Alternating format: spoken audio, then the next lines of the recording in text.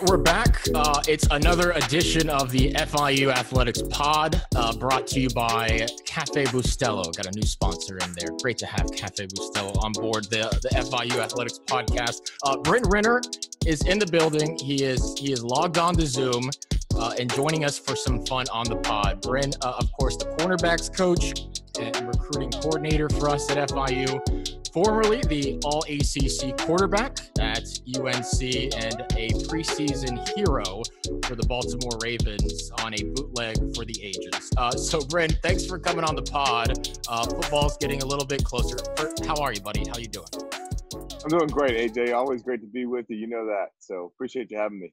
No, of course. Thanks for coming on. Uh, my first impression of Ren Renner, uh, my first impression of you was about eight years back, uh, October 13th, 2012.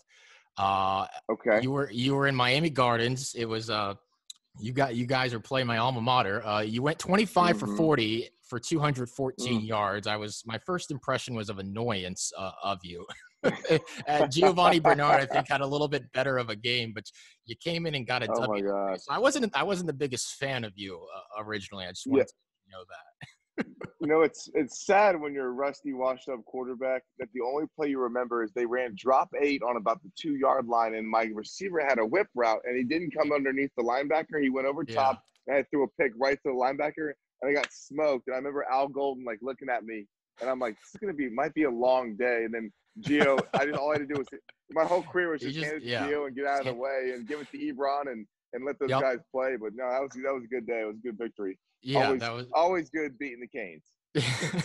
no, Sorry, yeah, to this to no to this day no we can we can agree on that especially uh, especially last season but that was uh, that was my yeah. first impression and uh, since then uh, we've had some mutual friends and, and we know about that and, and, gotten mm-hmm. to know you, you much more and you know you you had a great career at Carolina you know you were just the second player in, in UNC history to throw for 3000 yards in a season there you did it twice uh, so we'll, we'll talk all about that but but 1st mm-hmm. present day uh, look, we're getting closer. Lynchburg's just a couple of weeks away.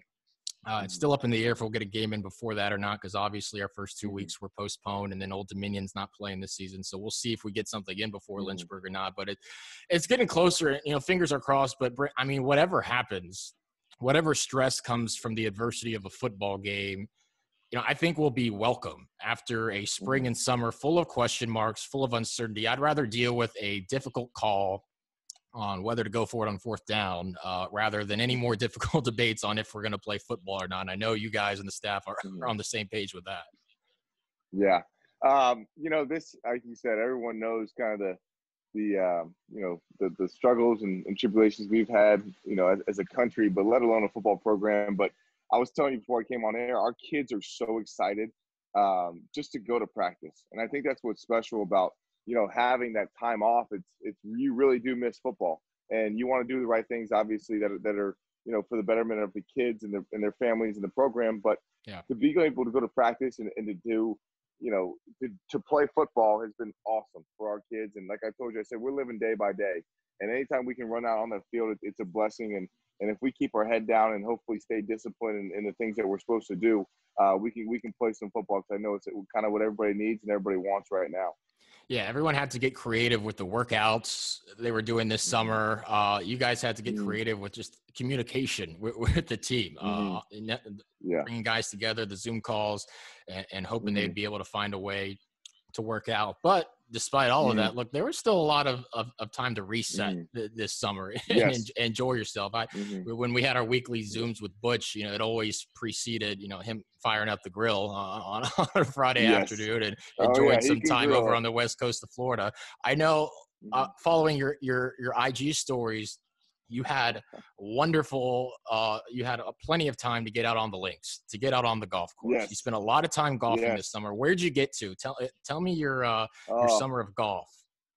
Well i have a wonderful girlfriend now and, and we've been dating for about nine months and she she's awesome. So we spent the first you know three months in quarantine and then um, she lives in san diego california works for cbs and, and does uh, golf tournaments you know pretty much every weekend. Actually last yeah. weekend was her first weekend off.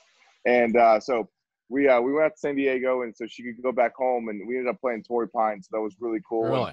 And, uh, you know, we, we bounced around from from course to course. I play a little bit more than than she likes to. She's really good, and uh, and so she beats me, you know, sometimes. But I, I, as a competitor, I don't want to admit that. But uh, she's a she's a really good player. So uh, that's kind of you know our fun time to get on the course. And I'm actually AJ addicted to golf. Um, yes, I am. As a competitor and as a washed-up quarterback, like I said, sure. My only chances to compete is when that ball is sitting on the tee, and I have to try to perfect my swing so I can hit it. But I really enjoy just getting out there and playing. I played, you know, when I was really little. Uh, I competed until I was about 11, uh, just in some local tournaments, and then I got, you know, the football, baseball, and basketball buzz, and and uh, that kind of took over my summers. But uh, you know, I'm a golf a golf fanatic, and um, and so I got I got around, you know, to play a lot more this year than I ever have my entire career, and yeah. and I got pretty good. I go I go across the street and play the Blue Monsters sometimes, you know, where I live, and and so just getting out there and, and being an athlete and being a competitor is what I love. And Drew loves it too. So we get a chance to go out there and play. And obviously, I've had a lot of chance to play with coach, and that's always special. You know, yeah, you're playing with uh, you know the, your, your boss and also uh, you know a father figure that, that you've known for 15 years now. Yeah, don't don't beat him by too many strokes. By the way, don't yeah. let him don't let him fool you. Drew is an unbelievable golfer. Yeah, and his dad is even better. Okay, no, so he, he's golfed at combined, some of the best courses there are. Oh even you, he'll go to Europe and, and just round after mm-hmm. round. He's extended vacations oh, yeah. uh, over in Europe to, to get more rounds of golfing. But like, yeah, and he, I know, and he just got a new driver. he just got a new driver, so now he's gonna kick everybody's butt. yeah, adds a, adds makes it a little bit more difficult to uh, to gain some stroke. Mm-hmm. No, it's it's part of your brand, man. Like you, like uh, it's the Bryn yeah. Renner brand is all caps on Twitter and getting out on yeah. the golf course, and, and you you kind of mm-hmm. referenced it. Um, it, wh- wh- why didn't you play in high school? I mean, you, you play seriously kind of now I mean, it's mm-hmm. it's a big yeah, part. Absolutely. Was that tough not to kind of pursue it into high school? Because you know, theoretically, mm-hmm. I think the easy line of thinking is: Would you rather get beat up playing football or just have a nice day on the golf course and make a lot of money? like, did you think yeah. about playing golf? So I'll, I'll get a great story. This is when I quit. Uh, I quit competitively. So I was um, yeah. I was 11 years old. I was playing the Bobby Bowers um, tournament at Springfield Golf and Country Club, where I grew up in, in DC, uh, right, you know, Virginia, right outside DC. And uh, my grandfather, who was a colonel in the Marines, and my dad, who was you know nothing short of that NFL player slash colonel in the Marines, cut from the same cloth, are walking with me, and I was playing pretty well, and and uh, we get to my favorite hole in hole nine, and 11 years old, you have, have a favorite hole, yeah. and I got it. I got a snowman. I got an eight. So I oh, immediately. No. I immediately turn. I go to hole ten, and I'm standing there, and I'm carrying my own bag. It's about it's it's it's crazy hot in the summer in Virginia. Humidity's out of control. And uh, after my eight, I was just in the tank. I wanted to quit, and obviously I couldn't quit. But I ended up, you know, carding something absolutely terrible. And I was like, all I want to do is go to the pool and play with my friends. I was playing football, baseball, and basketball at the time. And I'll never forget. My dad was like, well, you know what? We're putting the clubs, and you're going to focus on football, baseball, and basketball. So I still played recreationally, but yeah. I just I was kind of just out of it. I'm more of a team sport guy, you know, when when it comes sure. when it comes to it. I love you know, kind of get out there and, and running and hitting people and and just you know, all my buddies, my buddies didn't play golf, and I think it's kind of just the environment that I was in. You know, my buddies were at the pool, kind of hanging out, playing pool basketball and playing football, baseball, and basketball. So it kind of was my it was not my culture. But if I could go back in time, AJ, yes, yeah. I would play golf.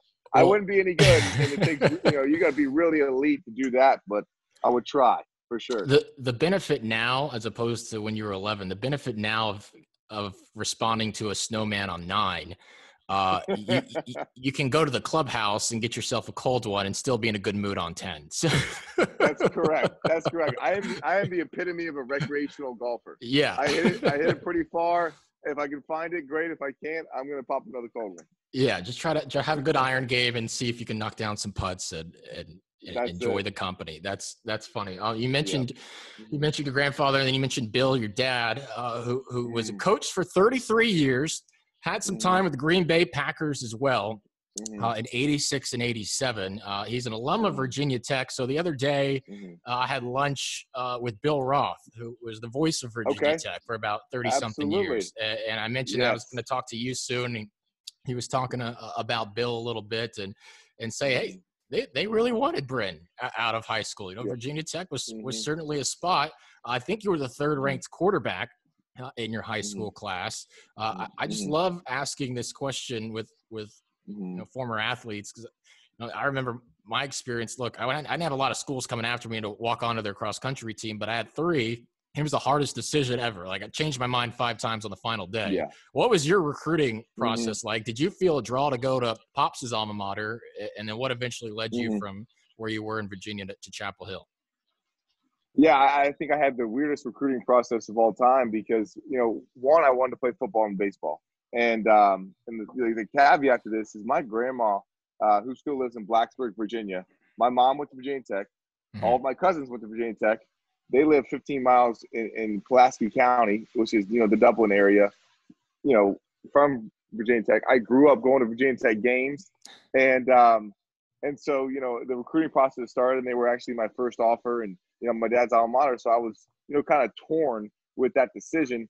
Uh, but then my sister ended up going to Florida State, and she was the first one. She's four years older, and she was a rocket, and she's a she's an absolute stud, better best athlete in the family.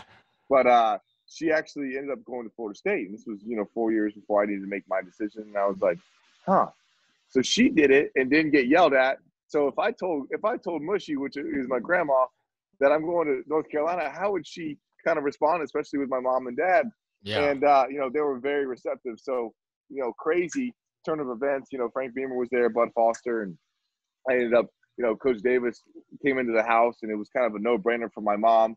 You know, and and they're big time Hokies. Obviously, my family is is Hokie ties and still has season tickets. You know, my grandma still goes to the games, and uh, and so I, I always have a little bit of the the Hokie Hokie high in me.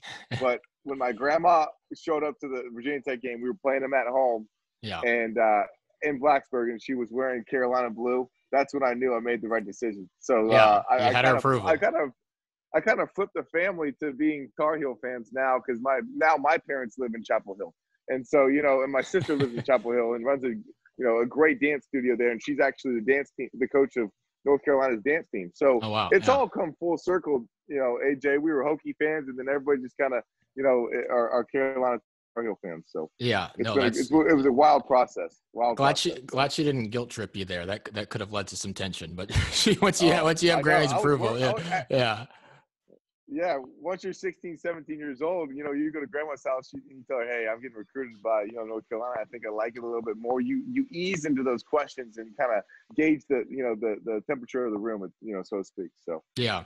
Um, in in terms of your journey when you when you were there, obviously, I think you backed up TJ when when you started, but that but that was yeah. that was great for your experience, and then really assumed mm-hmm. a leadership role as a, as a redshirt sophomore. You had those 3,000 yard mm-hmm. seasons, but uh, I know that I know the the journey there didn't end the way you wanted to. Obviously, it was really mm-hmm. emotional after that soul, that shoulder injury.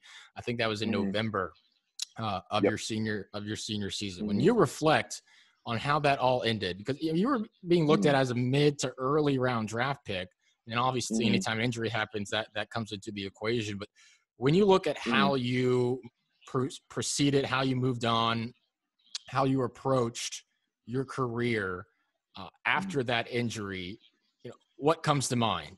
Um, what are your impressions of, of, of how you managed the, the end of your mm-hmm. Carolina career and going in, into starting as a professional? And I'll expand on, more on that and the, journey that that encompassed, but just mm-hmm. from the start. Yeah, you know, I think it's a great testimony. Obviously, when you're going through it, you know, some tough times in, in my career and, and just the coaching changes. You know, I had three head coaches over yeah you know my period of five years. I had four strength coaches in my period of five years, and you know, dealing with injuries. You know, I had three surgeries while I was at Carolina. Um, dealt with not starting. Dealt with you know being a highly recruited kid trying to play football and baseball, um, and doing that and accomplishing that, and had some really really high moments of my career, but also some really low ones where I had to dig deep and find myself. And I really, you know, I say this is my testimony. I tell our kids all the time, you know, I almost got my PhD and my master's degree in how to be an athlete and how to be, you know, a leader and how to control your emotions and, and deal with adversity in the game of football. Yeah. And I think I've gone through injuries, I've had surgeries, I've missed time, I've missed practices, I've had different coaches. I can really kind of relate to a college student athlete, a football player, on every single diverse level that he will go through in his career. And so what I you know, my the my old self when I graduated at 23 and, and, and was with the Denver Broncos would have been like, oh well, this stinks. You know, I'm going to get cut five times in the NFL, yeah. and I've had everything happen to me you know, kind of in my career, and the 30 year old self that I just turned 30 in January, and I can sit in sit in people's homes and, and families' homes and say, hey, I got recruited once. Hey, I had an injury once. I can call yeah. families now and, and, and, moms and dads and say, hey, look, uh, you know, yeah, there's, you know, your son tore his labrum, but we're going to get through it. And I know exactly what rehab to do. Um, you know, your, your son fractured his ankle. He, he's going to have bone spurs and, have, and be out in this time and have to rehab. Mm-hmm. And I can lean on those personal experiences because some people that I had as coaches, you know, no offense to them, they just didn't relate on any level of having a three technique, you know, in your face when you're trying to throw a touchdown against Miami. And I can speak from experience of, of all the, the, the things that I went through and how I dealt with it. And I needed a lot of support in those moments from my parents and, and, you know, everything, that everybody that was around me. So I had a great support system going through those. But when I look back at it now, I wouldn't have had it any other way because I wouldn't have had the experience and, and the testimony that I have now of of how to how to handle it and kind of how to process it at a young age. I think if people look at your career trajectory and your moves on the surface, they may not see all the little things that that went into where you are now. They may say, "Hey, you know, graduated mm-hmm. Carolina, bounced around a couple teams, got some good experience, and then easily slid into coaching." Mm-hmm. But I mean, there's a lot mm. of there's a lot of aspects of your story. Like I I didn't even realize this. I mean, you yeah. worked for about a year, or a little less maybe, at the mm-hmm. Tradition Golf Club. Um, yep. You know, and so I want to get into this because mm. at, at, this point in your time, kind of resonated mm. with me. This part of your story. Look, once once things start mm. rolling in college, right? Like you're on top of the world. Like yeah, you you mm-hmm. the self confidence, yeah. the the achievements. You know, for you being all mm-hmm. ACC, like like I went from covering you know, broadcast in, in Omaha, the College World Series in Madison Square mm. Garden, and then a, a couple months later, mm. doing city council meetings, fish festivals, pick recreational pickleball leagues in like small town yeah. North Carolina. And looking back, mm-hmm. it's a mm-hmm. rite of passage. It's a way to get better. It's a way to get to the next step, but it's very humbling. And for you, mm-hmm. you have you said you said quote, look, on Saturdays when you're used to suiting up, playing for Carolina, and then you're going to do the golf carts and got your headphones in and, and your sunglasses on and a hat so you're a little more incognito mm-hmm. you know mm-hmm. it's a hum- it's a very humbling experience mm-hmm. but you learned a ton from it you never lost faith you were working out with your dad before you went in at 6 a.m mm-hmm. to, to stay sharp mm-hmm. what what was that period in time like when when you're just dying to get an opportunity with the team and you're in the same place you were in college but it's a very different experience mm-hmm. than maybe a year ago yeah, and I think AJ, that's why we get along because we have similar stories, and I always relate to people in different ways, and I love people's stories and the history of how they got there and where do they want to go after that. So, um, yeah, so I'll, I'll kind of start, and and you know, obviously I was undrafted and went to went to uh, you know the Denver Broncos, and then when I came back, I got released, and this was kind of after the preseason, after week one, week two, and I was like, you know, dang, I, all all of my dream was just to be an NFL quarterback, and then you know, obviously coming back home and having to watch, you know, your alma mater play, and you're and you're still in the same place and kind of trying to figure out your life yeah. of what it's going to be, and, and you just don't know if you're going to get a call. So I knew I always loved golf, like we talked about, and um, you know, Chapel Ridge was was right up the street from my parents, and I've always been a hard worker, and I kind of, you know, my dad and I sat down, and you know, it was it was a rough time and you look back, but you you got really I got really tough in that moment.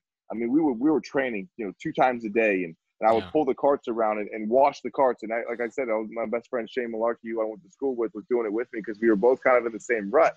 And we were like, okay, I, I know something good's gonna come of this out of this, but when you're in the moment, you know how it is. You're like, this is just not where I want to be. You're almost looking around like, what's going on? What am I doing? And here? so, like, yeah, exactly and I'll, I'll, tell I'll tell a story. You know, we're we're cleaning the golf carts, and I brought dumbbells from my parents' house and jump rope. And I would every car every cart that I did, I would do you know curls or I would do push-ups, and then I would jump rope, and then I I go I go park it, jog back, and do it again, just because there's so much built up anxiety that you have of not knowing what your future is. But you always have to stay prepared, and um, and so I did that for you know the entirety of the season.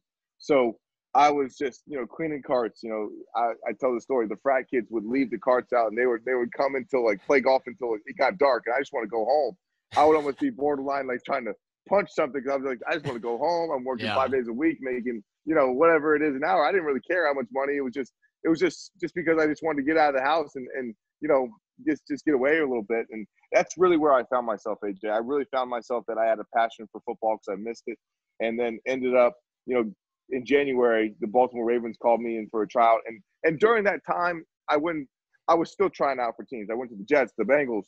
Uh, yeah. I went to Baltimore twice. I went to you know, so I was I was in between of, of of basically a job hunt, trying to find out where the next spot was. Ended up signing a futures contract with uh, you know in 2015 in, in January the Baltimore Ravens. But you know when I was in Baltimore, I found a new appreciation for like you said when you're on top of the world and, and, and you're the Carolina quarterback and then you, you tear your labrum and fracture your scapula in November and everything just kind of goes different. Um, yeah. You really find yourself and you find and you find out who you are. And I I look back now and I'm like, wow, you know that that's amazing. That that was you know almost you know that was only five years ago, and I was yeah. cleaning golf carts. You know, it's crazy. It's crazy. So and eh, there's such a there's such a line. There's such a balance between you know the internal belief of getting the opportunity mm-hmm. that you feel you you are ready for. And also, mm-hmm. look, once you graduate college, people are knocking at your door saying, "What are you going to do? What's your plan? Exactly. you know, is you yep. going to do this forever?" Mm-hmm. You're thinking, "No, obviously not." But you don't right. know how long to do mm-hmm. that and when that mm-hmm. might lead to the next step. And you know that leads to opportunities like you had in Baltimore. Look, macro level, big scale uh, for most people. Uh, a preseason win against the Saints is not a big deal, but mm-hmm. for your story, it, mm-hmm. it, it, mm-hmm. was almost a culminate. Like that, that was a huge moment, and so mm-hmm. much further along from where you were a couple of months ago. Like I, I watched the YouTube video of that. I mean, mm-hmm. that stadium was electric.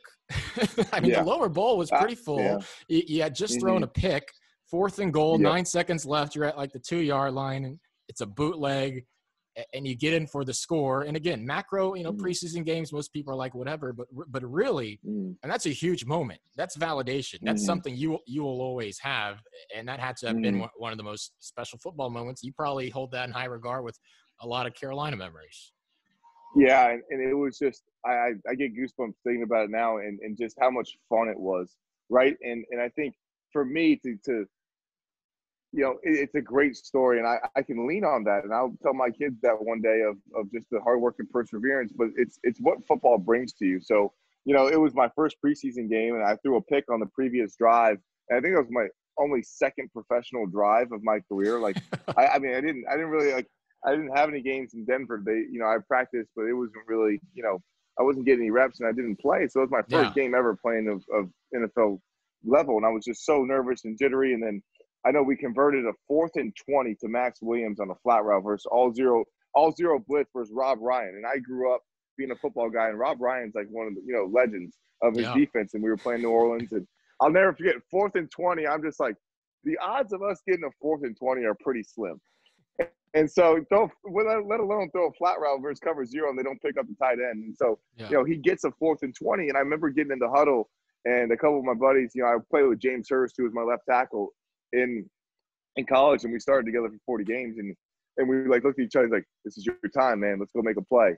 And so I'm getting goosebumps because you that's what sports is about. And then I can't run worth crap, AJ, and it probably took 20 seconds to get in that end zone, but that was the most excited. That was every golf ball I picked up, every golf cart I washed, all my mom and dad, you know, all their support throughout the years. And I can't, you know, those memories you just you have for a lifetime. But that's what sports, you know, I, I want to say it, it it rewards your hard work, and and that's what I felt like. I remember just being in like I mean being in a locker room and and you know there's cameras and stuff like that, and Joe Flacco coming up to me and just Suggs pouring water on me, and Gatorade shower, and you know you make that mark and you make that leadership. And I went on to have a great preseason and, and ended up being with them for a little bit, you know, throughout yeah. the course of 2015. It was it was a great moment, a great moment. Yeah, that's uh, that makes it all mm-hmm. worth it. You know, uh, uh, one mm-hmm. one program, I forget what it was, they used the hashtag pursue moments. You know, those things, the, yes. the, the bootleg in a preseason, you know, that's a moment, mm-hmm. uh, and, and, one mm-hmm. you, you, can always maybe look back more fondly on as the years go on. I think in the heat of the moment, you're Absolutely. fighting for a job and you're thinking about you know the process, what's next, but mm-hmm. a little bit of reflection. Man, that, that's an awesome Absolutely. memory to to have. Uh, all right, so but before um, his spontaneous retirement. Uh, I remember viral clips, uh, I think, of Andrew Luck. Uh, he'd get blasted, yes. he would get rocked, uh, and then and then he would congratulate the player who, who just whacked mm-hmm. him. Hey, good hit, man! Yes. Great hit! Way to go! Great job! Mm-hmm. I mm-hmm. feel, and correct me if I'm wrong, I feel mm-hmm. like that was not you at Carolina. I, I, I, feel you're a little more competitive. I feel you mm. may have jawed with people, DBs, D linemen. Mm-hmm. I feel you may have mm-hmm. gotten after it. Uh, am I mm-hmm. accurate in that assessment, or were you more in the Andrew Luck mold? Um, or, um, or did you yap a little bit? I think you got to ask my players that if I if I if I've ever stopped, right? So you come out to practice. I I'm just nonstop. I'm competitive. I want to win. That's how I I was raised. That's how I was born. And when I was at Carolina, and even in high school, I mean, you, you, there's probably stories of me just getting in, not not. It, I always call. I tell my girlfriend competitive conversations, right? So I'm not really attacking you. I just want to win, and at all costs, of I'm gonna I'm gonna find out what makes you tick and what makes you not tick. And when if I can get under your skin and make you not tick, then I get that advantage. And you know, I I I, I say it's it's really competitive, but it's also just for love of the game. I think that's part of sports of why you play is you want to go win. And I really don't know what a loss is because I want to get better and try to improve. And I think I have to move on quickly from losses that I've had in my career and even now quickly because I, I, I let them linger and I let them motivate me. So, yes, to answer your question, I probably think I'm the best crap talker on the East Coast, and I think that's just something that I love as a competitive okay. fire that I have in me. All right. It, the, th- the thing about that is you you remember those those moments when you get into it. Like mm-hmm. I still remember a track meet sophomore year of high school when a kid we raced against got ejected because we had little forearms going on the last lap. Like you remember? Do you remember? Yeah. Do you remember like when did you really get into it? Was on the road in Columbia, the top ten South Carolina team? Did you go back and Ooh, forth with Duke? Good. Like when you look back and think, mm-hmm. man, I might, I might have been an asshole that game. like which which games so, come to mind? I'd probably say Virginia Tech. My first year starting in 2011, we played them on a Thursday night up there, late October, maybe early November. It was really really cold, and I dreamed of playing in Lane Stadium when they play Enter Sandman. And I remember going to the 50 and Bud Foster is a really good family friend of ours, but he's very competitive as well. One of the best defensive coordinators of all time. Oh yeah. And uh, I remember going to the 50, and we literally had to be separated by Ron Cherry, the ACC official. And you and Bud, I, I were me and Bud Foster, and and it was like, hey, I'm going to throw for 300. This is what I'm going to do. You should you should blitz more on third down. I've watched a ton of film, and I'm like, this is this is getting. And I'm not really disrespectful. I'm just telling you what I saw on film that that you're not going to beat me. And uh, you know, they ended up beating us by seven, but we came back. It was a great game. It was one of my favorite games of all time. We actually missed three field goals, if anybody's asking, or we would have won the game. That's neither here nor there. But that was one of my favorite adult to player conversations because I studied the game so much and I was looking forward to it. And I just went up to him and we just, you know, he was he knew me since I was 15, so I felt like yeah, I was there's a little background. doing it. But okay. Um, and then I played against Jack Tyler, his middle linebacker, uh, at Virginia Tech again in high school, and he actually ended my career in high school. And I stopped. It's it's almost Friday Night Lights esque. We're in the state semifinals, and um, I reached out to get a first down in the pouring rain. We're the only school in Fairfax County public schools to play because we were scoring 50 a game, and they wanted to play us in, in, in the rain and mud. And so I was this this short, and he tackled me, and it was uh you know kind of one of the Friday Night Lights. Hey, extend yeah. the first down marker, and you don't get it, your career's over. So we always had some good battles. Um, Duke battles were great. NC State was, you know, crazy, crazy, you know, crap talking battles and and those things like that. But yeah, I would love to get a poll on FIU uh, Twitter and see if I was a trash talker from some of my friends and family and and people that yeah, we can definitely do that. That's amazing. You, you, you trash talking Bud Foster. like a oh, legend. Yeah. It was it was good. It was good. I know. I at that's audacious, you're, man. like I I know you, you were rolling then, of, that's yeah, that's Bud. a lot of hormones at 21. I know. That's that's Bud. I looked up to and went to the locker room with when I was a little shaver. So yeah, it was good. Yeah, and that staff was recruiting you, and and, and I know a lot, a lot of a lot of backstories there too. A lot of backstories. Yeah, so no, that's good. that's fantastic. Uh, that mm-hmm. competitive streak continues uh, at FIU. Uh, most notably, a year or two ago, when when Dorsey was with the program, uh, Ken Dorsey, mm-hmm. who's now up oh, in um, Buffalo, I believe. You two had a game. Uh, I think you'd go to the forty or the fifty, launch a mm-hmm. football and try to hit the field goal post. Um, mm-hmm. Who won more of those? Okay, so be- best competitor I've ever met is Ken Dorsey by far, best.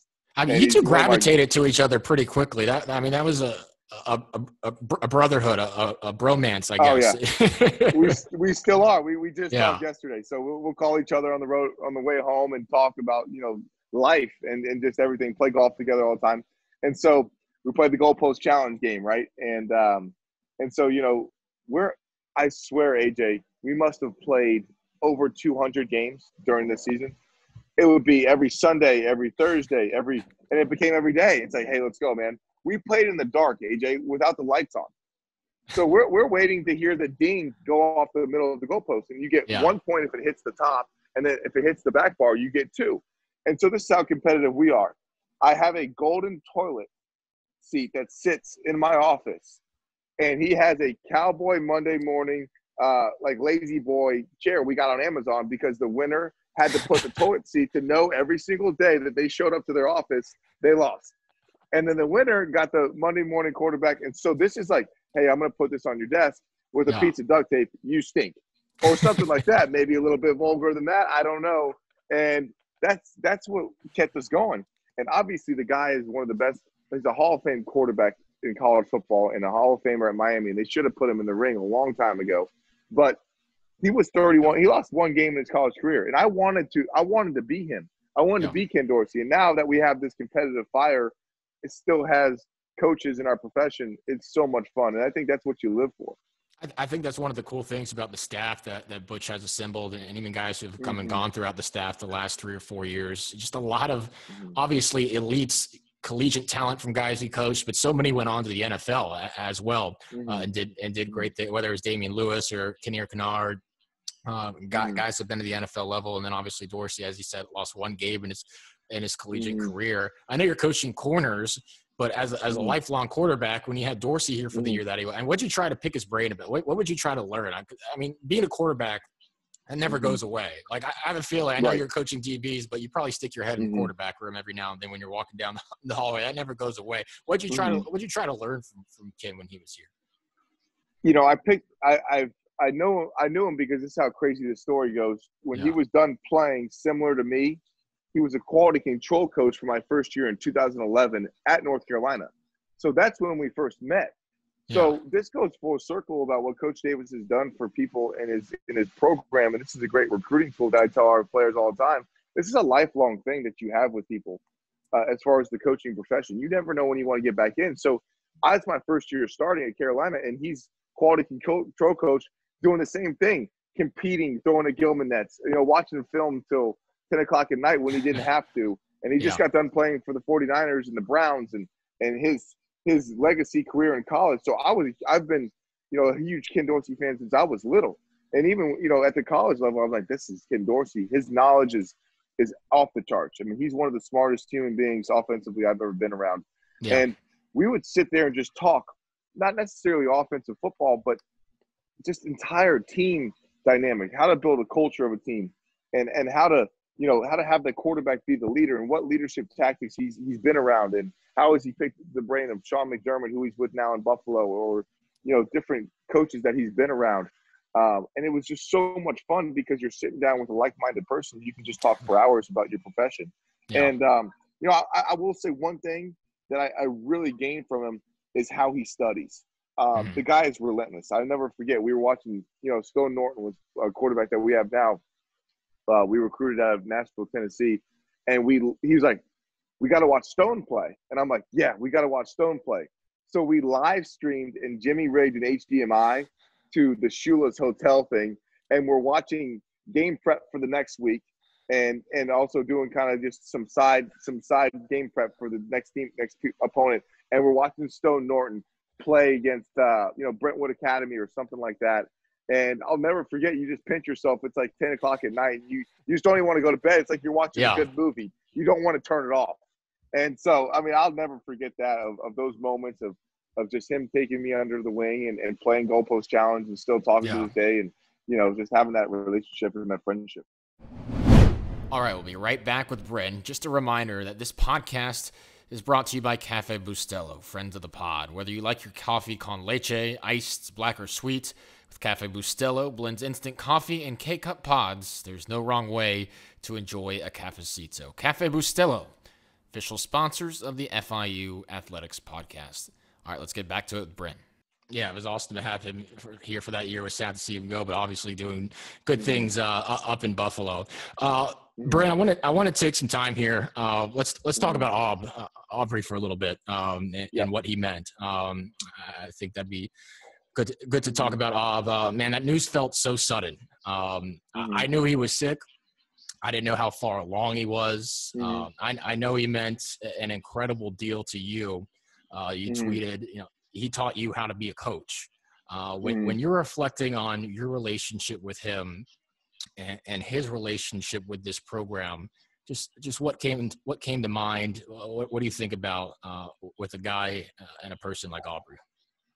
Yeah, um, you know, Aubrey, he's just uh, you know he's just awesome. And you and you miss the moments, right, AJ? And um, you know, dealing with loss, you always just you remember and cherish the times that you had with him and, and Chiney and and AJ, and they're in such great hands because they're going to have more coaches than they could ever ask for.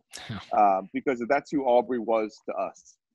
I'm 27 years old and I get to FIU and I get to be around Aubrey Hill, who's won state titles, and I've only heard great things. And he recruited me when he was at Duke and Pitt and would come in. He recruited my dad's high school, so I've known him since I was little. It was yeah. just Coach Hill, and he had this electrifying smile, and his way to relate to the players is what I really gravitated towards because he pulled me in. Hey, hey, boss, come come holler at me, and it would be an hour, two hours about Steve Spurrier stories, or playing with Emmitt Smith, or his career, which he had a great career at Florida, or his Carol City teams, and I'll never forget. It's my favorite story of, of all time. I, I get on the road for, for the first time and we, we go recruiting together and I pull up to Carol City. And AJ, I swear I have this memory of, of Aubrey Hill getting out of his of his of his Cadillac. And he had his black Cadillac. And yeah. we're standing there and their practice about to start. About to start. Every single person came up and dapped up Aubrey Hill. What's up, boss? and yeah. he was the president of Carol City. I've never seen anything like it. and I was just like, that's real deal Aubrey Hill right there, because we called him real deal. Real yeah. deal Aubrey Hill. And got out. We stayed there for about three hours, watched practice, and just cut it up. And I've never been so, you know, had a friend like that where he was just so accepting. Hey, this is your this is my first time on the road recruiting ever in college football. Yeah. And I'm with the legend of Carol City, and they're like, Bryn, you with Aubrey? Anything you need. Hey, whatever you need. Hey, it, it come back anytime. Hey, let's talk defense. Hey, let's talk offense. Let's just talk. Let's talk football. And I would never be in that position if it wasn't for Aubrey. And I'll never forget, we were also going to Georgia and we, we were we were recruiting. We were recruiting together and we were on different sides and we were just going to get some dinner and it's late night and just having yeah. those memories of of his his his soul and, and who he was as a human being. Um, you know, Chiney and, and AJ are just so tough. And, and, you know, obviously I was allowed to go to the funeral service and that was really tough. But the impact that Aubrey made on my life, I, I can't thank him enough. I just remember thinking, you know, every time I would, I would watch the receiver position group um, getting drills in or, mm-hmm. or whatnot, I, I, more than many times, my thought was, man, these guys are lucky to, to have him as their coach. Like these guys yes. are getting to learn from one heck of a coach who you know, obviously played in the fun and mm-hmm. gun offense and so well mm-hmm. respected, not just in the South Florida high school community, but I mean, it feels like everyone in college football knew the man. You know, um, yes, I, I yes. think one, one memory that comes to mind. You know, you mentioned how he's so accepting. Like you're going to high school for the first time. If you're with Aub, like you're you're good. You know, one mm-hmm. one memory it was yes. the Gasparilla Bowl, man. Uh, about an hour before the game, and Aub uh, Hurley, Tim, Swayze, Kenny Kennard. Uh, you know, they have they have their their Gables experience together, that shared experience. They mm-hmm. were taking mm-hmm. a picture together an hour before the game, and I stood off to the side. Mm-hmm. And Hurley may have started the sentiment, but Aubrey quickly joined in. He said, "You you ran for him too. Get in this picture, man. You're part of it. You know, yes. I was only at FIU for three four months at that time." Yeah. And he he made, he simultaneously made me feel a part of two families in that moment. Yep. It was a small thing to him, but that meant a mm-hmm. lot. And he he just had a way to to relate to to whoever he was with, whether it was other coaches, uh, mm. 18 year olds he was coaching, support staff. You know, whenever you talked to Aubrey Hill, you, you felt good about yourself and, and good Absolutely. about the future of, mm-hmm. of where you were at. Uh, so that so that was yep. That was definitely you know tough news. And you know, I, I think the team, I think the program's going to have him in mind this year, just like it had uh, mm-hmm. Emmanuel Lubin last year and, and continues to do. Mm-hmm. You know, um, I, I, think yep. that'll absolutely. We're coaching. We're be, coaching for yeah. him this year. That's for sure. Yeah, a hundred percent, and uh, he, he, certainly means a lot to, to all of us here uh, at FIU. Um, as we move forward here a little bit, uh, we'll get to the mailbag in a couple minutes. We, we had a nice mm-hmm. number of contributions. Uh, that will be awesome. That will be a lot of fun. Speed round coming up here soon too. But want to reference. I want to talk about this. Was fascinating to me. Uh, I think it was an ESPN story. Might have. I, I got to figure out the source. Uh, but they did a story mm-hmm. basically on James Morgan's recruitment, right? Uh, mm-hmm. How he sent a, a, million emails out to collegiate programs, uh, hadn't had any responses. So you're looking for a quarterback before a recruiting meeting. James's email sat in your inbox for th- for 33 days. Yeah. you told the guy did the interview. He said this looks kind of bad, but I, I, you know, you get a lot of emails. You get you get a lot of coaches saying yeah. guys can play. Mm-hmm. It's 6:30 in the morning. You have a recruiting meeting mm-hmm. at 7 a.m. So this is the coaching edition of like I'm procrastinating my homework. Like I got to turn in this paper. Yes. You got to bring some recruits to the table. So you type yep. you type quarterback, and mm-hmm. all of mm-hmm. a sudden you see his email that's been sitting there. You, you, look at the tape and you're like, maybe we have a quarterback. And, and all he mm-hmm. does is lead us to a, a couple of bowl games. So the best search. Tell I, me about that story, uh, locating James. Uh, just how it's got to be I don't think we realize maybe that like you said that might sound bad on the surface, but you get a million mm. emails from recruits and coaches. So just the story of, yeah. of, finding James and how that came to be. Oh, it was it's it's amazing. And like you said, so I, am literally sitting at my desk and you know, Coach Coach Davis, we, we were in the in the market of getting a quarterback that had some experience and you know, I, I've searched the country. I'm like, okay, I can do this on my own. You know, I'm hey, I'm you know, I'm going through I mean I must have watched 50 to 75 quarterbacks from you know, JUCO to I even watched the kid in England. I was like, okay, you know, maybe we can go get some guy overseas. And I'm like, okay, this is just not working for me. And I remember just sitting there and I was like, oh my gosh, what am I going to do? And it hits you right in the face. It's like, all right, let me just go back through my emails. And I'm, I, like I said, AJ, I'm the worst with emails and technology. I'm just, I'm not, I'm getting used to it as I'm, as I'm becoming a coach instead of a player, right? You know? Yeah. So I think that's the transition that naturally has to happen. So I literally typed in quarterback and we have a meeting at, at, at seven. It's about five o'clock in the morning. I'm an early morning guy, and I found it, and I'm like, okay. I read the email, and here's the links. Here's the YouTube. Click the YouTube. Wow, I was blown away. Throwing yeah. field comebacks, checking the ball down, movement in the pocket. So then, you know, I, I really do all my research. So I go to I go to YouTube again, and I type in, you know, you know, just just James Morgan. And the first day of spring, he was mic'd up. And thank God Bowling Green did that because I think that was my selling point. Yeah. The leadership, the the the way that the players responded to him, the positivity that he had when he was just bouncing around and, and flying around and trying to get everybody better and the encouragement. He freaking knew all the ball boys' names. And it kind of reminded me a little bit of me, to be quite honest with you. Just the, the impact that he had on the whole building, and you can tell it. I watched three of his interviews post game, and I because I think that you can gain, you know, a lot from a quarterback on how he responds, you know, good and bad. And then I watched three football games, and I watched the Michigan State game twice. Mm-hmm. And this was over the course. I said, Coach, I got a guy, but I'm not. I want to finish the day, and, and I want to, you know, potentially get him on the phone. And you know, one thing about Coach Davis, get him once you get him on the phone, or you get you get into a certain place where you think the kid's good enough, and he believes in you. That's that's what a good recruiter does. And Coach Davis is kind of lineage of of recruiting, um, you know, coaches. And so that's what I did. I watched Michigan State twice, and he and uh, I, AJ, I kid you not, they must have dropped seven balls that were right on the money, and they're playing on the road in, in East Lansing, and I'm like, that's a dang good player right here. And I kept watching games, and I kept you kept all you know getting. Yeah, I, I reached out to some other coaches that played against them. Hey, what do you think? off the charts. So it was a no-brainer from that point. But you know, the, the email was the selling point of, of how well written it was. And I, I yeah, you know, ESPN showed it, but it was unbelievable. I just want a chance. I want something to prove. I don't care if I have to come in and compete and getting him on the phone, it was it was amazing. I mean, it truly was. I want to ask you this because I, I'd ask any recruiting coordinator this. It's interesting concept to me. We mentioned your inbox, uh, how it clutters up really quickly.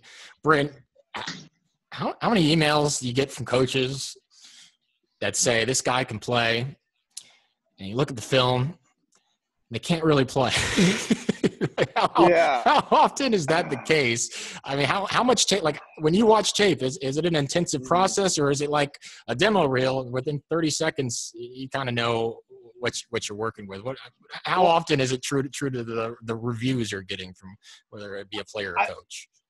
I, I think I always say this, and I think this comes from my dad being a high school coach. I respect so much what the high school coaches do and the work they put in throughout the course of their year. It is a yeah. really tough job to be a high school coach because you get a new team every single year. Yeah. And you're trying to give the kids a chance and an opportunity. So I look at this a little bit different. Um, I really do watch every kid. I try to at least. And I know there's only 24 hours in a day, but I try to take time and watch every kid. Now, here's what I'll say to this is, is the best program for him to come and play for is FIU? No. Maybe it's Towson maybe it's a different program. I want to help all these kids go and achieve their their full potential, right? And so I really think that this, this is me as a person because that's who my dad was at the high school level. Yeah. And you know, my grandfather was a was a superintendent of schools for 30 years and a high school football coach in his own right. And that's just kind of how I grew up. So I think I would be doing a disservice because if it was, it was my son one day, I would want them to watch the film. And yeah. so that's that's kind of how I answer it. And now, can you get to every single kid? AJ, it's not possible. So to answer your question, you get. I mean, my inbox, I can't. I don't even know what the number is right now. Um, but you know, it, it's it's a process, and it's a recruiting takes a long time, and everybody wants it to be instantaneous. Everyone yeah. wants to say, "Oh, do you, do you think I can play?" Well, I really don't know. I just watched a three minute highlight. I got to go and do my research. You know, because yeah. I, I would have never found James Morgan and thought, you know, all, all that stuff if I didn't do my research and, and what's your GPA and there's there's a long list of things that in boxes you have to check because some people you know are really talented and they're just not a good fit for for what we do and, and how we play football and that's okay but I want to get you to a spot where you can. You know what's interesting too? You're not just. I don't think you guys are just watching the highlight tape. Like Butch has referenced before, he'll he'll want to watch wants to watch the full game and see That's how correct. that guy interacts with his teammates when he goes back to the bench. When oh, he goes yeah. back to the sideline. Absolutely. You know, there's there's a lot yep. of character things that go beyond mm-hmm. you know the, the huddle film. Uh, that, yep. that he wants to analyze. And, and if any recruits are listening, yeah. if any recruits are listening, we watch your worst game first and your best game last. Yeah. And we'll see how you jog off the field when you're down 21. I got to see that. So, because it's going to be how you lead. It's going to be how how you rush on field goal. You know, how, are you going to try to still block the kick? Because that kick you block could win you the game. So yeah. it's little things like that that that you know high school kids really don't understand because they're just thinking, you know, I made a highlight tape. Okay, that's great. So let's watch you play a game. Yeah. Hey, one more thing before we get to the speed round here. Um, yeah. Did did Bill did Bill ever push you to be a punter? or was there oh no God. chance? Was there yeah. no chance of you punting? So I always punted. I punted in high school. I really always did. I just didn't have his leg. I swear. I mean, he hits bombs. I mean, I'm telling you now. I, I, hope he listens to this, but he hits absolute spirals, bombs, coffin corner. I mean, I remember when I was young, I would just try to catch him and be under, and I'm like, Dad, like I can't even catch that. It's a perfect spiral, hits me in the chin. And I'm like, I would try to, I would try to punt it back. And I now, do I know the skill set to do it? Yes. Yeah. Am I proficient enough? And did I get enough reps? And I, did I like it? No. I was always a quarterback. I was like always, you wanted you know, to be on the field a little bit, a little bit yeah, more. And, Didn't you punt one game at Carolina freshman year? Didn't you have one punt? That was my first play. My first How was that? Inside, it was like at the 11 yard line, maybe the 15. So okay. we ran. It was called Wolfpack punt for Coach Davis, and I was always like the the backup punter and the kind of the quarterback punting guy. And so my first play, you know, I'm I'm literally have a headset on. I'm worried about the drive. We, you know, I'm worried about talking to TJ. And yeah. all of a sudden I hear Coach Davis go, and I'll now I have like nightmares about this. Wolfpack punt, Wolfpack punt. And I'm like, Wolfpack punt, that's me. And I'm like, oh my gosh. so I go grab my helmet. I'm dang near drop the ball. It's my first snap in, in, in college football. So I've always dreamed about this moment of it being a quarterback moment. It's a punting moment. I ended up, I was like, just don't whiff. And I hit it down to the 15. It was inside the 20, I believe. But no, I'll never forget that. That was that was crazy. And then about my dad's story is that he never he punted. He went to um, Virginia Tech to be a running back. So he kind of yeah. had to teach himself how to punt, and then you know, obviously, I I, I think he's one of the best in, in, the country and trains NFL guys still to this day, and you know, yeah, yeah. he's he's he, he, mastered his craft. I can tell you that. That's funny. Yeah, they're they're. I can see that discussion happening. You want to get into punching? No. Yeah. I, I really like quarterback. I really enjoy. I want to play more than one. I want to play more than five snaps a game, Dad. That'd yeah. that's that's funny. Uh, all right, let's go yeah. to the speed round here. All right, basically short answers, sure. one or the other. Elaborate a little bit, but uh, quick speed round here. We'll start with that. All right, here we go. Let's uh, do it. Let's do it. The The Office, Parks and Rec, or different show? Different show. Which one? Uh, I'm a huge Entourage fan, and I just got into Yellowstone. I, I've been binge watching Netflix with my girlfriend for a long time, so I have a lot of shows. But Entourage, best show of all time. Uh, what's your favorite comedy? What's the best comedy? Best comedy. I'm going oh, with How I Met Your Mother here. Kind of took over my life in, in the fall of oh, 17. Um, my parents really like The Big Bang Theory. I think it's pretty good. I've gotten into that lately, but um, is it recent? Are we talking recent? Yes. No, doesn't have to be recent. Doesn't have to be okay, recent. Okay. Uh, dang, comedies. Friends. I like Friends. My sister loved Friends. Let's just go with Friends. Okay, we'll go with Friends. Go with Friends. Um, top of the hill or he's not here. Oh, oh, Sundays he's not here. Top of the hill Saturday, Friday night and Saturday night. Okay, got that confirmed. That's an that's an Easter egg for our Chapel Thrill friends. We'll just move on from there. Uh, quick uh, power rankings: South Beach, Brickell, Wynwood. Power rankings one through three. Ooh, one through three. Um, South Beach one. Oh, okay, okay, all right, Fred. Win, Wynwood two, Brickell three. Okay, South Beach, Wynwood, Brickell. Love Malda. I didn't see it going in that order. I, I, well done, well done. We'll, we'll have to we'll have to expand right upon. There, yeah, we'll, we'll have to elaborate on that after. Uh, best place yeah. to eat in Miami. Best place to eat in Miami, Joe's. Best place best place to eat in West Springfield, Virginia. oh. You might hurt some. So you might hurt some feelings here. Oh my god. We're tagging. We're tagging whoever you you say okay, to. Uh, Mike Mike's All American Grill. Mike's All American Grill. Yes. The uh, get the hush puppies. Okay. By the way, yeah. uh, I looked up where you were from, but I, I didn't look at yeah. the map. Where is West Springfield? Are we near Charlottesville? Is that near Blacksburg? No, where, it's it's up north. So it's literally um, like George Mason. George yeah, Mason University Mason. is about 15 minutes from where I grew up. Okay, gotcha. All right. Yeah. Have an idea. So Mason, now. DC, right outside DC. I can get to the White House in 15 minutes. Gotcha. So if okay. you just think about. DC, that's kind of where I was. First, the first suburb out, outside of DC. Waffle House or IHOP? I'm going with Waffle House because you love Waffle House, AJ. We would have we would have ended on. the podcast and canceled it if I know. went the other way. Right. So and we and we know Waffle House is my spot. There there wasn't any other answer to that question. I'm glad you answered it correctly. that would have that would have put a damper on the good spirits we we had built up here. Uh, will you ever have a TikTok? No. Absolutely not. I hate, I hate social media. I despise it. well, you got it. You, you, are very okay. I, that'll bring up a follow up question in a second. Uh, okay, final mail, final speed round. Uh, your NBA Finals matchup. NBA Finals matchup. Dang it! I wish the Golden State Warriors were playing. Um, no, but oh, this front, year, front I would. I want to. I want to see LeBron. Um, okay. And I'm, a, I'm Celtics are still in it. I want to see the Celtics. Yeah, they had a good game the other day. They, uh, they yeah, I want to on Toronto. I like uh, I like the coach for the Celtics, and I like LeBron. I, I think uh, that would be a good series. Huge okay. fan of the bubble. They're doing a they're doing a great job. Yeah, Celtics Lakers was always a lot of fun, and the bubble has certainly been successful. Uh, last note, uh, you mentioned social media. What started your branding of all caps on Twitter? Every every original tweet from you is is all caps. Really, no matter what's what it's about, mm-hmm. and mm-hmm. I love it. I, it's phenomenal. So what what started? So I took a I got a great education from the University of North Carolina, and uh, so I was in a marketing class, and this is really kind of I, I I really I don't know how this came about for me, but I was you know director of recruiting obviously the first year I got here, and I was like, you got to make a brand, you know, you got to make somebody, you got to stand out in some way, and I I think I do that by my personality, but how do you do it on social media without being a jerk, right? Yeah. Nobody. So I kind of you know teeter on the edge of that a lot with my life, and um, And so I remember sports marketing class and and um, Dr. Stroman, who came and spoke to us, was one of my professors. And I remember she said, You got to really be your own and, and, and be authentic of who you are. Well, I'm a pretty loud person. So I was like, Let me just try all caps and see if it gets some steam because people have to read what you say in all caps. When you're scrolling, you got to see the all caps guy. Like it's yeah. just like whether you want to read it or not, wherever you are in your life, you're gonna have to see the all caps guy, or you're gonna follow me.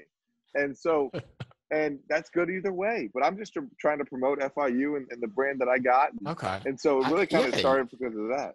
It's a it's a good brand. I I like what you've built up with that for for hating social media. Um, no, you're, you're, doing well on the Twitter, but yeah, yeah. I, I, I don't see you on TikTok. It. I looked you up before I asked that question. Didn't see it. I didn't know if you had private yeah. account. No TikTok. Can't, can't expect I, to see Brandon. One, I got one post on Instagram, and that's all it's probably going to be. all right, let's go to the mailbag. Had some nice contributions from a variety of friends of the program. Uh, we're going to mm-hmm. start. Um, big fan of the pod, uh, big friend of the program. Uh, Amanda Balionis uh, chimes oh, in. Gosh. Uh, she says, "Bryn, if he had to give up his camo Crocs or dude wipes forever, which would he choose to forego? This is very important. We need to know." Oh my gosh, this is this is a tough decision. Wow, Amanda, I'm gonna. Wow. Okay. Well, she put it out there. Um, I have to give up one. Okay. Yes. I I'm gonna have to part with the camo Crocs because I need the dude wipes. The dude wipes are a need, right? And and I recommend every guy out there subscribe to dude dude wipes. Amazon subscription, get them every month. They're they're huge. They're they're they're monumental in in your everyday well being. I, I really appreciate how Crocs have come back though, and, and camo right. certainly is very respectable. Mm. Um, Thanks, that's Amanda. Tough, that's tough to hear. Uh, thank you for the contribution, Amanda. Uh, we'll get back to you in a little bit. Uh, FIUJM, oh, John, John, John is wondering, uh, as recruiting coordinator for many years, what do most recruits have in common about why they chose FIU, the city, the campus, the atmosphere, the coaches, etc. What do you see? What do you see as a common thread uh, with recruiting? Um, I think it's a, a combination of, of everything. Um, obviously, I'm going to believe our coaching staff is one of the best in the country, uh, just because of how we how we treat the players when they come into the program and, and when they leave, they're set up for success. Because I'm a I'm a product of that with Coach Davis, obviously being my college head coach. But I would say the city life. Um, you know, you're in one of the biggest you know populations in, in the world and best cities as far as you know location to the beach location to um, you know having outside you know activities to do going to the water and going on a boat and and and you know it's a vacation destination for a lot of folks. So a lot of kids you know that we we have on our team either live here and were born and raised or they have family that that, that vacations here. So you're you're around family um, you're you're you're going to be a great spot to play football and to have a, a, lot of fun doing it. And if I could do it again, you know, I would definitely think about Miami if I if they would have offered me or or things like that. But um, yeah, your alma mater did not offer me, by the way, AJ. But uh, not salty at all. Not salty at all. But uh, no, it's it's a great place to come to school, and I think we really have, you know, a trifecta of a great education, great coaches to be around, and a great experience to have outside of football. That's a good recruiting pitch from the recruiting coordinator. Well done there. Um, we have a, uh, let's see here as I'm searching in the mailbag. Oh, we have another contribution from Amanda Balionis, big friend of the program. Uh, she says, uh, Bryn, what is your favorite Backstreet Boys song and can you perform oh it for gosh. us? Oh my gosh, she's really, you know, nine months has been a, been been good to her because she's found out um, I'm a little bit weird. Love the Backstreet Boys. Was a huge fan. I'm a '90s. I love '90s music. They were um, To answer her her second question, no. I will not be performing it. To answer okay. her first question, it is I want it that way. And if Bob, you catch me Bob. at a karaoke, you, it's more of a live performance thing, Amanda. I'd agree with um, yeah. Yeah. I want it that way.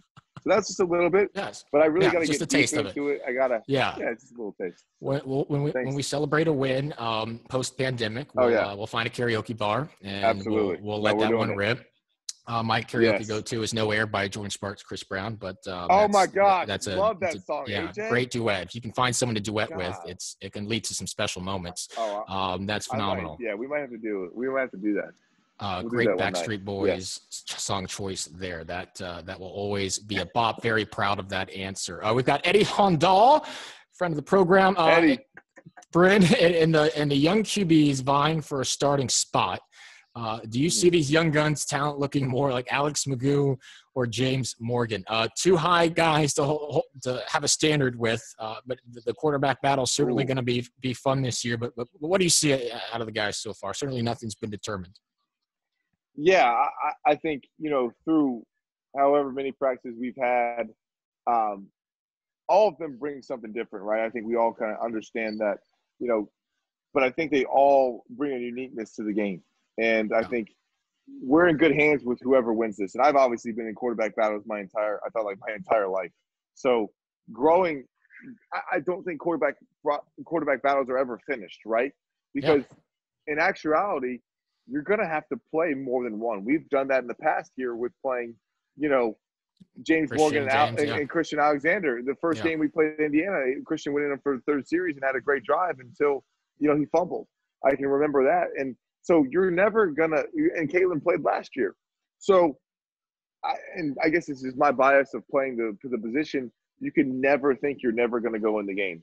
So, yeah. in my opinion, especially this year more than ever, you're going to have to rely on all three of those guys for potentially to go in the game and have some sort of role to help you win and be successful.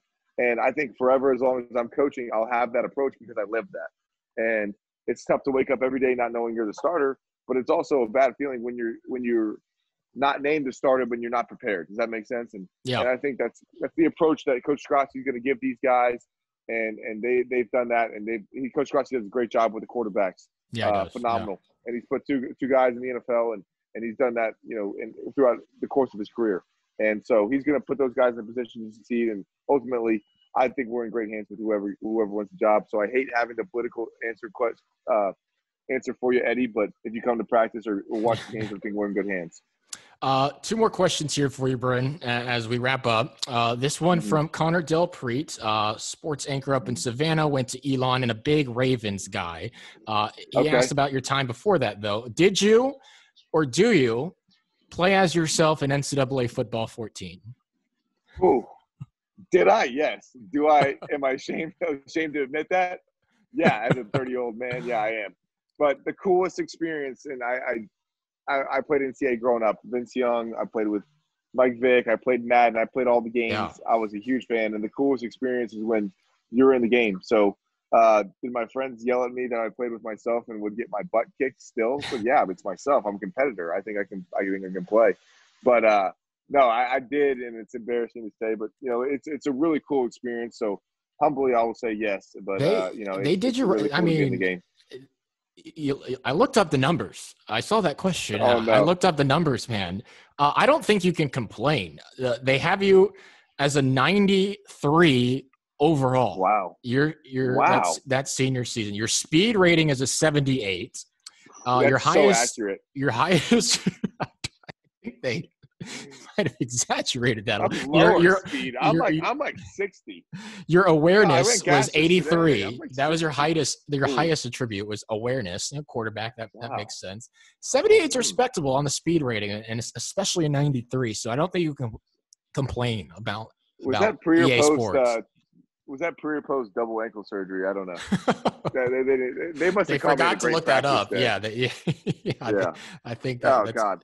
Hey, I'll, uh, I'll, take all those ratings. I stunk.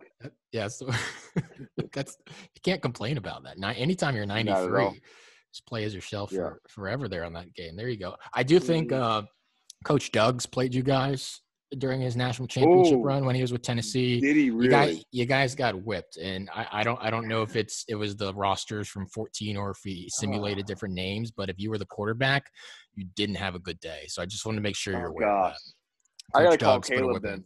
Go, oh yeah, you got the you got the barstool connection. Yeah, see yeah. if you were in oh that oh game. God. I couldn't find a, yeah. a, box score because it's a it's a video game and people don't care that much. They just want to just see who if Doug's wins. Yeah, no doubt. I can't give you your stats awesome. on that. Uh, final final question of the mailbag, and appreciate all our friends chiming in. Uh, mm-hmm. Really a huge fan, um, and, and, that's why we're spotlighting her. Uh, this is Amanda Balionis. Uh, her last inquiry.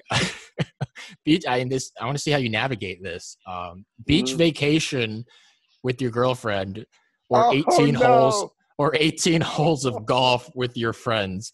Bryn, tread oh, carefully oh, no. here. Tread carefully. Oh God. Oh my God. Wow. I'm there's there's a correct answer, and there, there's what you want to say. Okay. All right. So uh, this may or may not have happened. I won't say when it did. I won't. I'll just say there was a, there's a there was um, a time. Wow.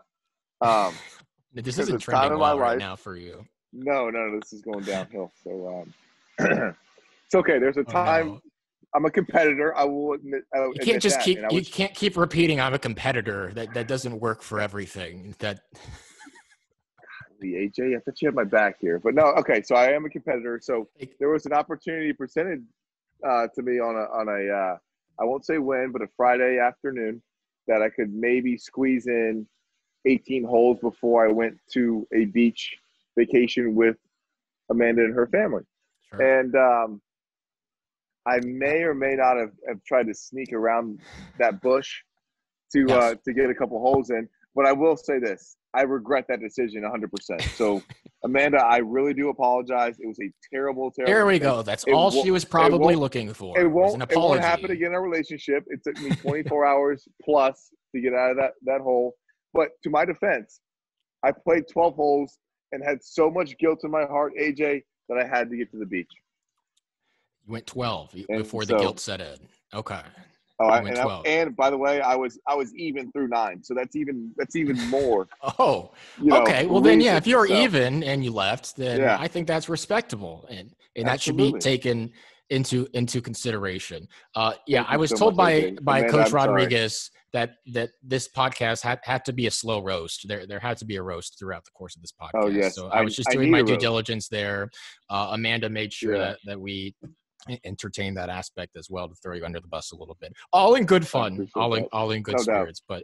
But uh, correct answer there. I'm glad I'm glad you navigated through that successfully. Brent, Brent, this was this has been fun, man. I've uh, been looking forward man, to this. Awesome. Hopefully, hopefully we're uh, we're on our way to Virginia. How far is Lynchburg from from the hometown? Ooh, about three hours. Okay, all right. That's, yeah, my, my, well, my buddies well, My buddies usually come to my usually my buddies usually come to the ODU game or uh, yeah. to go to game that's close, but I guess they can't come this year. Dang, that's, yeah, that's, that's sad to say, AJ. But yeah, we're gonna uh, play some football. That's all that matters. Yeah, that's the matter. Some some games will have fans. I know uh, Pete said we'll, we'll prioritize students at Riccardo this year, so hopefully yeah. we can have some some FIU fam out of the cage. But man, appreciate the time. Uh, enjoy the stories. Uh, hopefully, we're playing football here soon, and, and year four of, of you guys being here. But uh, no, it's been a lot of fun. Thanks for coming on the pod, man. We appreciate it. AJ, AJ, you're the best in the business. You already know that. You don't get enough credit for what you do and how you support this program. I mean that from top to bottom. Um, everything you do for covering us and, and doing basketball and doing football, man. You know, you know, you're my, you're my brother for life. So appreciate it, man. I appreciate that, fam. Just two two former ACC guys having fun at FIU, man. Just it's a, it's a blast no to doubt. be here and, and more, more good yes, times sir. to come. All right, that's Bryn Renner on next episode of the FIU podcast. Appreciate you tuning in. It's been brought to you by Cafe Bustelo, friend of the program. Bryn Renner, thanks for the time, man. Appreciate it, AJ.